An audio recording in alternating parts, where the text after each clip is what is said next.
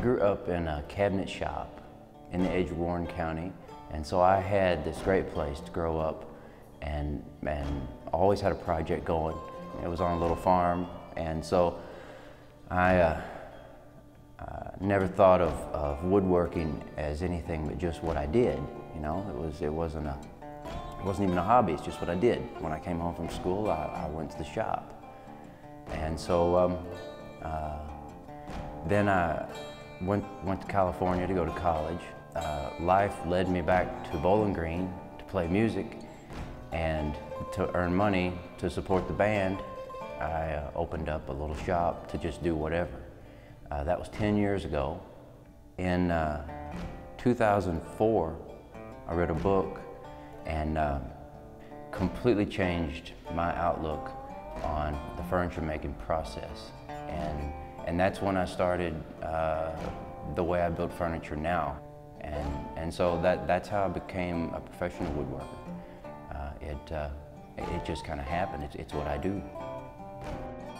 Just thinking about that everything you produce is an opportunity to do something extraordinary, or at least try to. Uh, that's what made me realize that, that I had all these ideas floating around in my head of things to build, and if I just took the time and slowed down, I could produce them. Sometimes I look at something and see what it needs to be. What I can do just naturally in my head is I can see everything that's behind that front uh, one-dimensional view. And, and so I know what needs to be done to get out to the front. Because piece of furniture, you know, sometimes you start building it from the back and work your way forward. So uh, you know, I, I kind of specialize in building furniture that looks very simple but can be really complicated to build. Um, there's other times uh, there is a um, there's a small table uh, here at the Joe Downing Museum that started as a, uh, as a cedar root that washed up in the creek that runs through our farm. And so when we very first purchased our property, I saw that root in the brush pile. I pulled it out and took it up to my shop and uh, I let it sit and dry and do all the things it needed to do. I knew it needed to be a table someday and then uh, uh, the opportunity came and, and so it, it became a table. And you know, furniture is available everywhere. Um, but to me, furniture is not about, it's not about needing a place to sit down. You know, they could sit anywhere.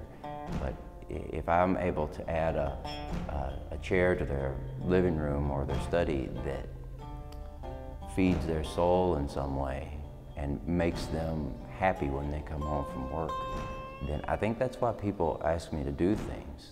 And that's, that's important to me. I, I want my furniture to have a good home.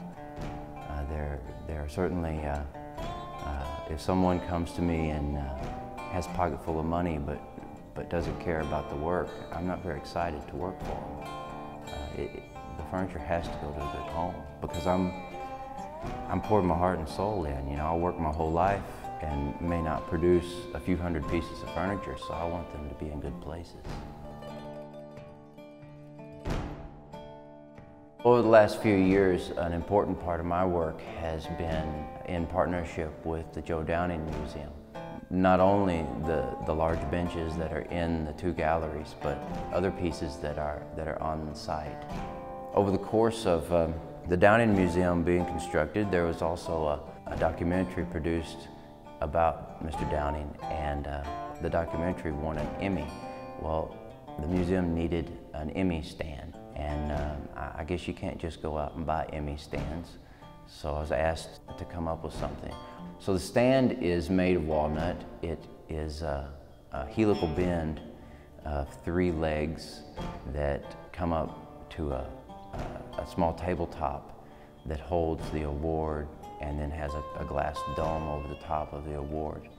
And that entire process was, I think, very important to my shop because it showed me a whole new way to, um, to work with the lumber, a whole new way that I could bend things, uh, and, and I was able to get out of the two-dimensional bending box that I'd been in and kind of enter into a new realm that's pretty complicated of, um, of bending wood in three dimensions and, and working uh, with very smooth flowing curves that uh, when you build a piece of furniture out of them, as you walk around the furniture, it, it constantly changes because of the, the different angles that the wood gives.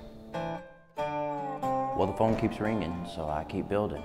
You know, that uh, uh, I think it takes a lot of faith in something to be a, uh, a professional artist, whatever your art is. You know, you have to have a good deal of confidence in your work. You have to know your work's good, and you have to be good at it. But over the last uh, two or three years, there's been a steady stream of work, and it doesn't seem to be declining at all. So I just look to um, to have commissions that are larger, uh, multiple pieces of furniture for the same home, and um, you know I, I have no plans to change careers. I would like to add teaching into what I do, and I'll be able to pass on what I've been able to learn. But the, um, the furniture making will just keep growing, and I hope, I hope my, my skills keep getting better and, and that my designs keep evolving. And um, there's, uh, it's, it's been 10 years, and I feel like I just started yesterday. I'm, I'm, uh, I'm just ready to keep doing what I do.